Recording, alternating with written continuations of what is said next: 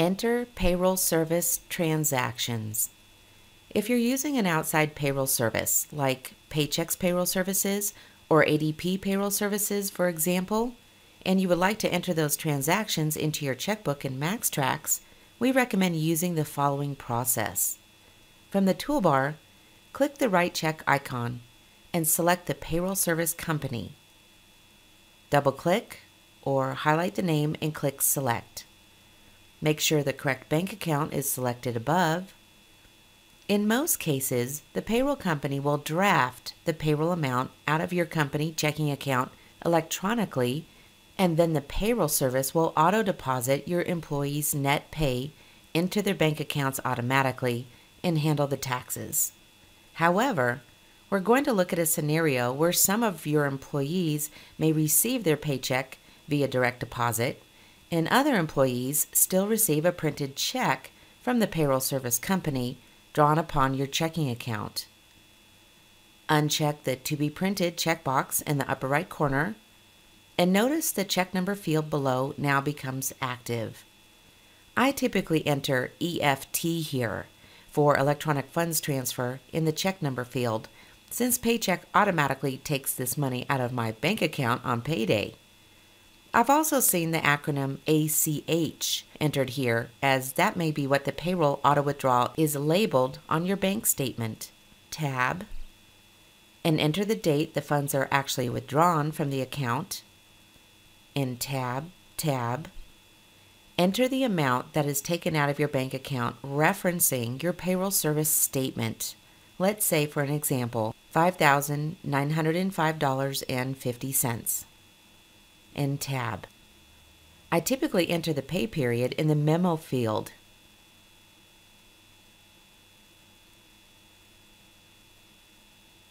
and tab. And here is where we're going to enter the various disbursements for this electronic debit. The first disbursement is already posted below the amount of the auto withdrawal taken by Paychex from our bank account. Next is the total gross wages posted to the 60,000 expense account. Tab and the amount of $7,000.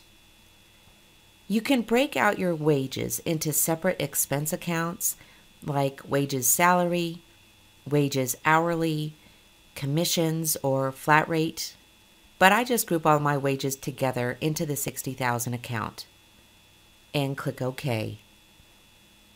Next, we enter the payroll service expense. Click the Add Disbursements button, and I'll enter account 61100 and hit Tab. This account is named Consulting Other, but I'm going to edit the account description first.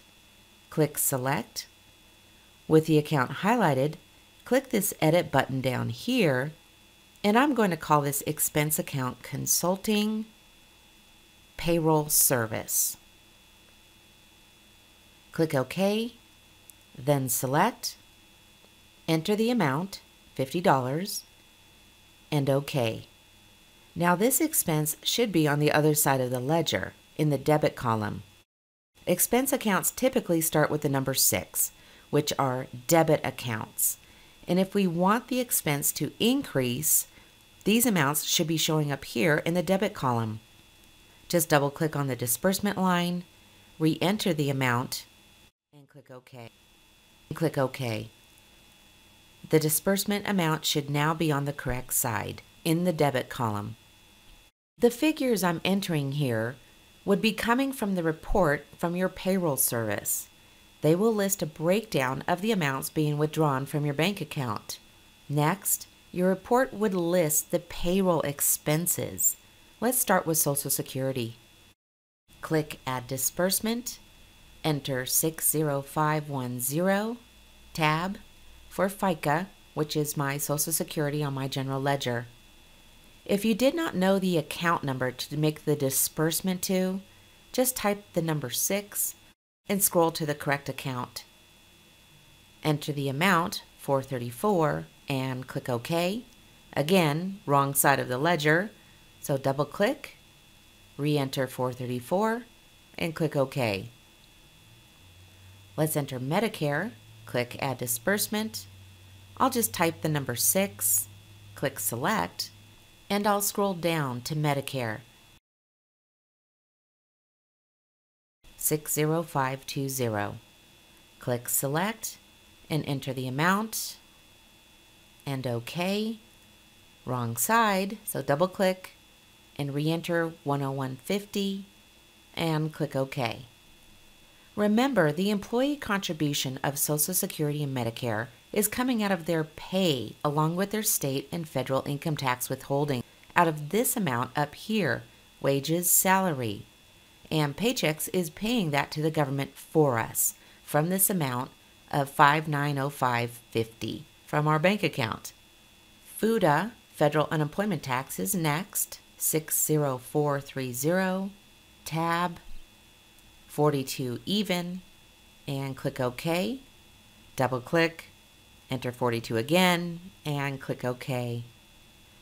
Next is SUTA, State Unemployment Tax, 60440, $378.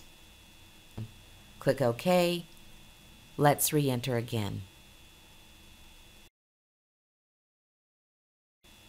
On the correct side now. MaxxTraxx does this automatically as it's always trying to balance out the transaction. MaxxTraxx just doesn't know we have a bunch of disbursements here.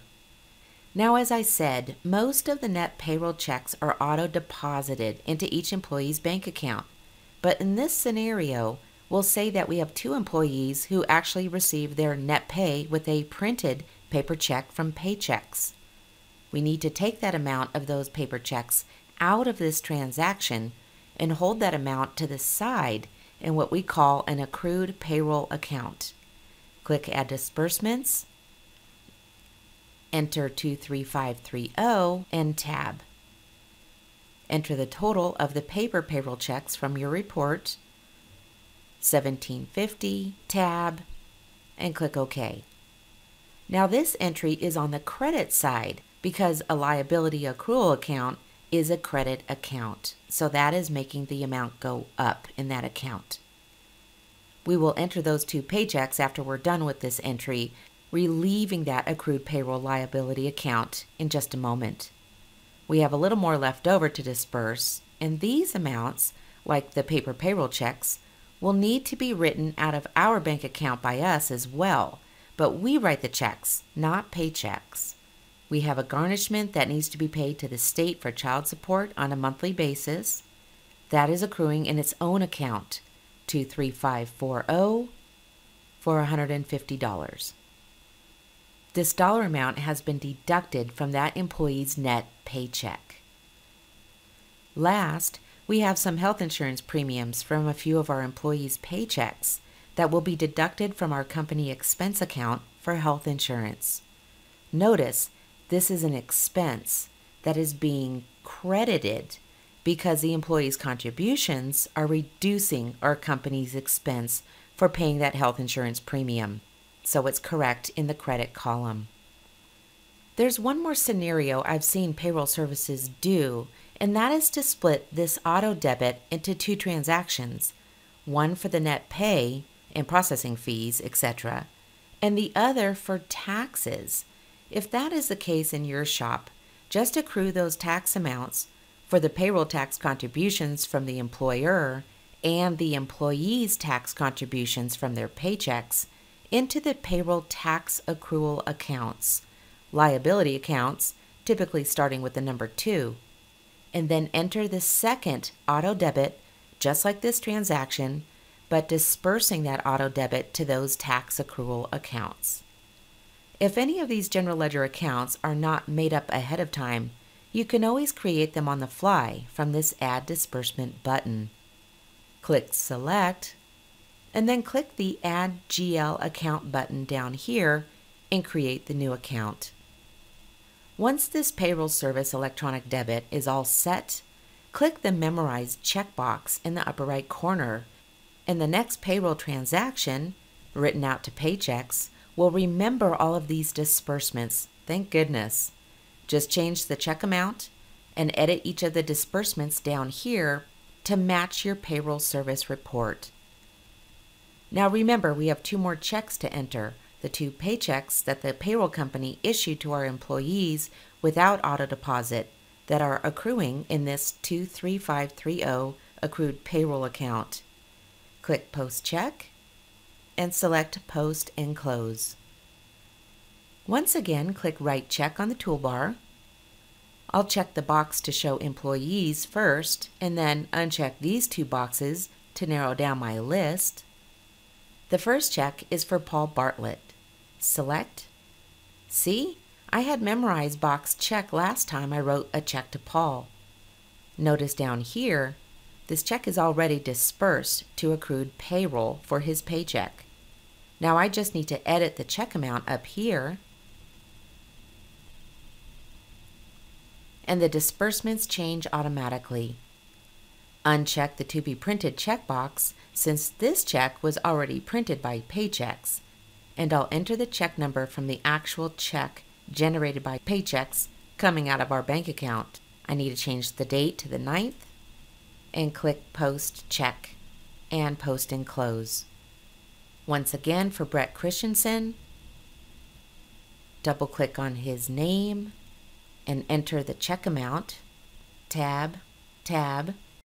The check is dispersed to 23530, accrued payroll, click OK. Again, I'll uncheck the to be printed box and check the Memorize box so MaxxTraxx remembers this new employee's check disbursement to accrued payroll. Enter the check number, change the date, and click Post Check and Post and Close. Our last check would be to pay that garnishment that we're accruing to the 23540 garnishment account on our general ledger, done the same way that we wrote these other two paychecks. Just disperse to the appropriate account and post. But I pay that garnishment remittance only once a month, so I'm not going to need to do it this week. If you did not remember what else was accruing and what account that accrued amount was being held in, just reference that Paychex electronic debit that you entered. Click Banking on the menu bar, select View Check Register, select the bank account, and double click on the check or highlight the check and click the Edit button down here and you can see what went where and for how much. And this concludes the lesson on Enter Payroll Service Transactions.